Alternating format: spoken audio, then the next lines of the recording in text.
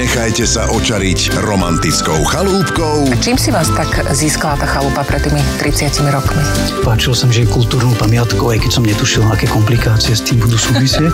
Alebo remeslom starého otca. Tak ja som ho videl od malička, ako brúsil a robil a vždy ma to zaujímalo.